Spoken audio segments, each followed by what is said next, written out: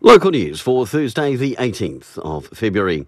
The Real Estate Institute monthly figures for January have shown Carterton has seen a record achieved, with the median price now sitting at $700,000. Masterton is at 550,000 and South Wairarapa $715,000. Carterton artist Rebecca Farr's fourth solo exhibition, Rogue and Vagabond, will open on the 27th of this month at the Schmid Gallery in Martinborough and features portraits of New Zealand women prisoners of the early 1900s. Once open, it will run until mid April. A gravel grab is set to take place this Saturday on the Hutt River, with anyone needing gravel able to bring a trailer that will be helped to get uh, rocks into directly, or an area where you can pick your own rocks and put them straight into your boot. The initiative is run by Greater Wellington to help manage the flood risk of the river, so a win-win for everyone. And in, sport, uh, uh, in this weekend, uh, Open Farm events has been postponed due to COVID 19.